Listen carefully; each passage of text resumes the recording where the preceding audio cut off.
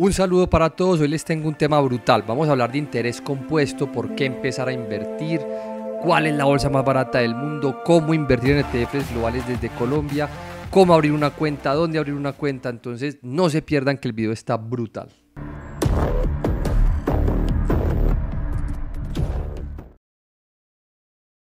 Un saludo para todos, ¿qué más ha habido? Antes de comenzar recuerden que este video es educativo.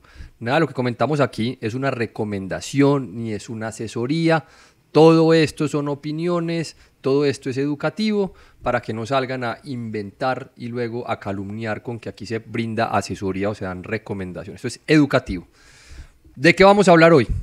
Hoy vamos a hablar de ¿Por qué deberías empezar a invertir hoy? Vamos a hablar del interés compuesto, vamos a hablar de si vale la pena invertir en Colombia, pero una pregunta que me hacen mucho, ¿cómo hago para empezar a invertir en la Bolsa de Colombia? Les traigo una primicia de una aplicación aquí en Colombia y también les voy a contar cómo pueden invertir en los mercados internacionales en ETFs desde aquí de Colombia sin sacar el dinero, así que no se lo pierdan y si les gusta la educación financiera, las inversiones y apoyan este canal, pues déjenos un like, eso nos ayuda muchísimo. Aquí les traigo unas gráficas muy interesantes. Lo que tenemos acá es el famoso poder del interés compuesto. ¿Qué es el interés compuesto? Básicamente es, tú tienes un dinero, lo pones a rentar, los rendimientos los pones a rentar, las utilidades las pones a rentar y va generando así un interés compuesto, es decir, tu dinero va creciendo y cada rendimiento es reinvertido. Traje varios ejemplos, puse un ejemplo muy sencillito.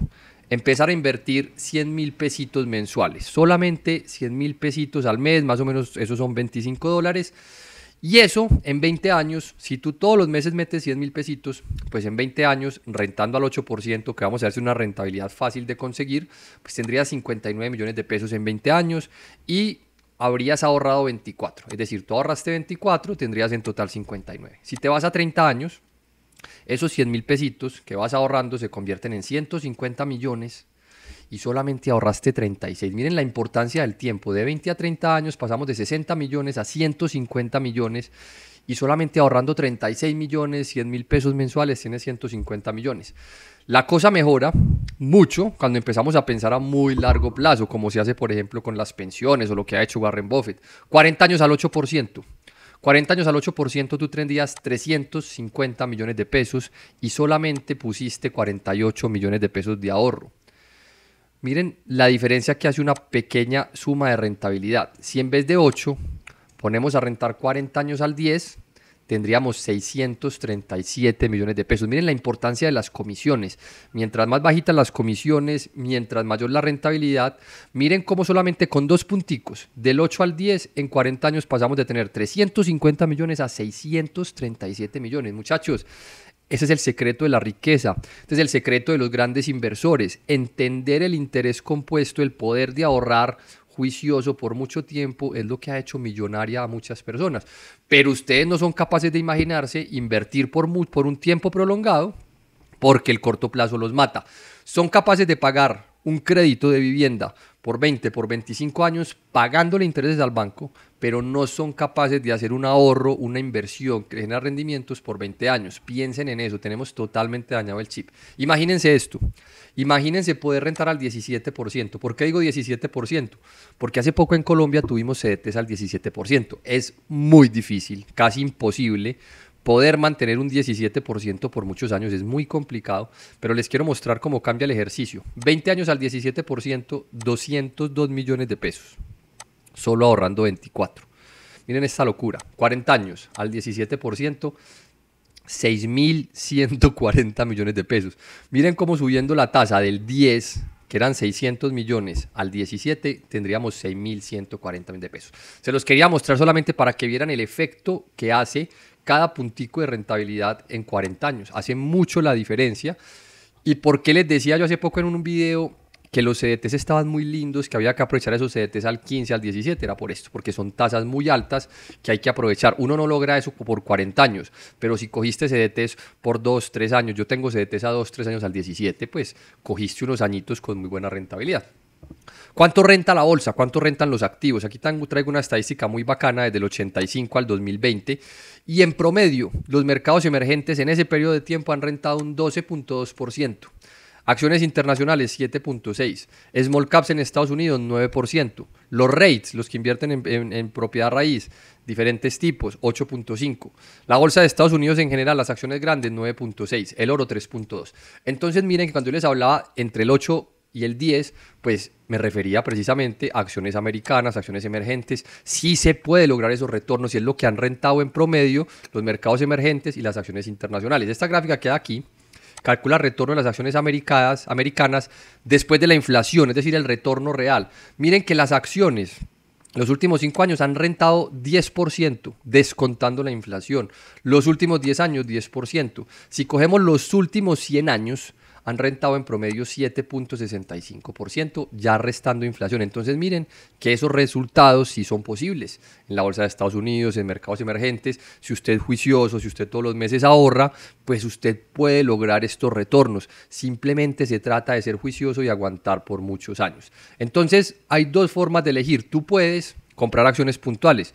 Voy a comprar Google, voy a comprar Bancolombia, voy a comprar Sura, eh, voy a comprar Tesla, lo que a ti te guste pero si tienes los conocimientos, si tú no tienes esos conocimientos, pues puedes asistir a un curso nuestro que nosotros lo enseñamos o te puedes indexar a un ETF o a un fondo.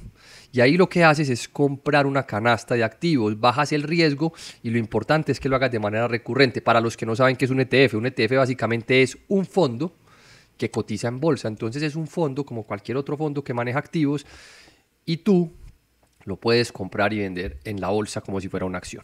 Entonces, a la pregunta que hacíamos al principio, hombre, ¿por qué invertir en Colombia? Y esta es la respuesta más linda de todas, señores. Hoy, la bolsa de Colombia, cuando miramos el precio-utilidad, la relación que hay entre utilidades y el precio, hoy la bolsa de Colombia es la bolsa más barata del mundo. Estamos cotizando a 5.6 veces utilidades según esta página que sigue eh, los, los múltiplos de diferentes bolsas. Colombia es la bolsa más barata del mundo. Eso yo no lo había visto nunca. Después están Pakistán, Turquía y Chile. Miren que Colombia y Chile, que somos hermanitas, estamos muy baratas, entre el top de las más baratas. Y Brasil, que es una bolsa que también hemos hablado en el canal. Y China, que también es una bolsa que hemos hablado mucho en el canal, que está interesante. Colombia, Brasil y China están muy interesantes para invertir en una de las valoraciones más bajas en su historia y son una de las bolsas más baratas en el mundo. Entonces eso es importante. Cuando te vas y miras si, la acción, si está barato el mercado eh, respecto a sus desviaciones históricas, es decir, qué tan barato está respecto a la historia del mismo mercado, en ese sentido nos gana, nos gana Chile. Chile ha sido un mercado que históricamente ha cotizado más costoso y hoy está más barato versus su historia y de segundo está Colombia. Entonces, cuando uno mira la bolsa de Colombia, realmente se da cuenta que ese susto, ese colapso que, que sucedió con la elección de Gustavo, qué pena, estoy un poquito más de la garganta, que sucedió con la elección de Gustavo Petro, ese colapso da oportunidades. Otra razón, tenemos una de las bolsas con mejores dividendos en el mundo. Por el momento, todavía no hemos conocido todos los dividendos del 2024, pero ya algunas empresas empezaron a hacer las propuestas de dividendos. Recuerden que las empresas hacen propuestas, estas van a la asamblea para ser o no aprobadas, la, la mayoría de veces se aprueba, a veces hay cambios, pero esto es lo que se ha presentado. Miren esto, mineros, el dividendo de mineros al precio actual, con cierre 22 de febrero, es un 17% de rentabilidad. Miren que hablamos del 17%, el dividendo de mineros paga un 17%. Obviamente eso va a fluctuar porque el precio del oro fluctúa. Un año puede ser 17, otro año puede ser 15, otro año puede ser 20, otro año 10, otro año puede que les vaya mal y no paguen dividendo, pero hoy es un 17. Bancolombia preferencial 11. Promigas está pagando un 10.30. Preferencial de Corficol un 9.30. Celsia casi un 9. Enca 750, PF Semargo 740, Semargo 6, Bogotá 4.4. Todavía faltan muchas empresas por publicar dividendos. Yo me comprometo que si este video logramos que tenga 500 likes, que es muy poquito, todos vamos a darle like a ese botoncito, le subo el video con los mejores dividendos de la Bolsa de Colombia una vez se publique. Listo. Entonces, suscríbanse al canal, regálenos un like, apoyan este trabajo, todo esto toma tiempo, se les agradece mucho. Entonces, miren que esas rentabilidades que yo les decía del 8, del 10, del 17, eso sí existe. Y la Bolsa de Colombia hoy está pagando unos dividendos históricos. Entonces, yo puedo invertir en la Bolsa de Colombia, con acciones, ya les voy a decir cómo se hace más adelantico, o puedo comprar ETFs de mercados internacionales. Por ejemplo, en Colombia tú puedes comprar el ETF de tecnológicas, que es muy parecido al Nasdaq, el IUIT. Tú puedes comprar un ETF que es mundialmente famoso porque replica el Standard Poor's, porque es muy barato, tiene muy bajas comisiones y es uno de los ETFs favoritos en el mundo para hacer aportes periódicos, el BOO. Es muy famoso y lo puedes comprar desde aquí, desde la Bolsa de Colombia. Hay muchos otros, yo no los voy a mencionar todos, pero ahí puedes ver que puedes comprar acciones de JP Morgan, puedes comprar acciones de bonos. Lee lo que hay en pantalla, hay muchos, les estoy mostrando los que a mí más me gustan. Puedes comprar el Nasdaq 100, un ETF que lo replica, se llama el ECAC. Este ETF replica el Nasdaq 100, cotiza aquí en la Bolsa de Colombia. Puedes comprar China. Desde Colombia puedes comprar un ETF que se llama el ICHN, que cotiza en la Bolsa de Colombia y quedas con exposición a China. Puedes comprar este que replica Europa, el IDSE. Puedes comprar el Standard Poor's, el CSPX. Puedes comprar un ETF de emergente. Les he hablado mucho de emergentes, el AMI. Y toda esta cantidad de acciones que ves en pantalla las puedes comprar en Colombia con el beneficio de que puedes tener los beneficios tributarios de tener tu dinero en Colombia. Recuerden que en Colombia la utilidad en acciones tiene exenta, está exenta y tiene otros beneficios. Entonces tiene muchas ventajas, también tiene desventajas, te los digo, son acciones muy líquidas. Para pequeños montos no hay problema, hay unos generadores de liquidez, pero para montos grandes sí hay problema. Entonces a la pregunta, ¿cómo hago para invertir en Colombia? Para invertir en esos activos que vemos aquí y en esas acciones colombianas que vemos aquí, necesitas una cuenta con un broker colombiano, con un broker local. Esto no lo puedes hacer con un broker americano, no lo puedes hacer con Interactive Brokers o Ameritrade, no. Tienes que tener una cuenta aquí en Colombia. ¿Quiénes lo ofrecen? Las firmas comisionistas. Eh, TRI, Credit Corp, Da Vivienda, Valores Bancolombia, BTG, etc. Yo utilizo tres firmas. Yo tengo cuenta con TRI, yo tengo cuenta con Credit Corp y yo tengo cuenta con Da Vivienda. Estas son las que yo uso. Te voy a dar un comparativo. La comisión en TRI vale 14.875 pesos. Ahí está ya el IVA incluido. Si te vas para Credit Corp, te vale 35.600. Y si te vas para Da Vivienda, el trading Da Vivienda te vale 71.400 pesos. Creo que esta es la más cara de todas. Entonces, cuando yo le escucho a la gente, profe, es que son muy caras las comisiones en Colombia, muchachos, esto es muy barato.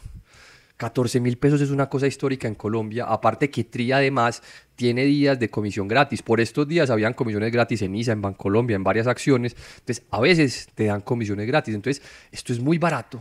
Compara 14 mil con 70 mil pesos o con 35 mil pesos de Credit. No pongo estas porque no las tengo y no tenía los datos a la mano y pues quería grabar el video. Pues de momento, Tri es lo más barato. Entiendo que en Bancolombia están dando unas comisiones también a buen precio, pero es una promoción. Toca esperar que se acabe la promoción y ver cuánto queda la comisión en Bancolombia. Pero de momento hay una promoción, pues para que, para comentarlo, pues para que no se, que se tenga en cuenta. Entonces, también les traía una primicia. Hablando con Carlos de Tri, me contó que ya se puede abrir cuenta en TRI con cédula de extranjería. Entonces, si tú, que me lo preguntó mucha gente, ve, profe, yo soy argentino, yo soy chileno, estoy viviendo en Colombia, no puedo abrir cuenta, ya pueden abrir cuenta con cédula de extranjería y también pueden abrir cuenta personas jurídicas. Entonces ya en TRI, si tú eres extranjero, si tienes esta cédula, si tú quieres abrir con tu empresa, ya lo puedes hacer en TRI. ¿Cómo descargas TRI? Te vas a la tienda de Google Play, te vas a la App Store, escribes TRI, descargas la plataforma y con eso puedes empezar a negociar en el mercado colombiano, puedes comprar estas acciones colombianas que están muy baratas, que tienen muy buenos dividendos, puedes comprar ETFs o también te puedes ir a estas otras firmas comisionistas que hay aquí, eh, evalúa qué es lo que más te gusta, qué es lo que más te conviene. Esto no es una recomendación, te estoy contando qué es lo que hay, tú ya verás qué te conviene y qué te sirve más. Otro tema importante, hombre, si invierten en trigo en cualquiera de estas aplicaciones, no sacas el dinero del país, te ahorras el costo del giro, no te enredas con la tributación de otros países, tu dinero sigue aquí, pero tienes exposición al dólar. Si tú compras un ETF internacional, tú estás indirectamente expuesto al dólar y pues tiene beneficios tributarios. Entonces eso es importante porque mucha gente quiere sacar el dinero, pero otra gente quiere quedarse acá y tiene la opción desde acá de comprar estas acciones. Eso me parece a mí muy bueno. Un consejo, cuando vayan a comprar acciones, que he visto mucho el error, calculen que la comisión no se les vaya a comer la rentabilidad. Por ahí gente me dice, profe, entonces meto 100 mil pesos y pago 14 mil pesos de comisión. No, no vayas a invertir 100 mil pesos porque si pagas 14 mil estás pagando el 14% de comisión, eso sería muy costoso. En ese sentido es mejor que ahorres varios meses y cuando tengas más dinero, cuando la comisión ya sea más bajita, el 1%, yo diría que más o menos el 1%, ahí haces tus inversiones o cuando hayan días sin comisión aprovechas.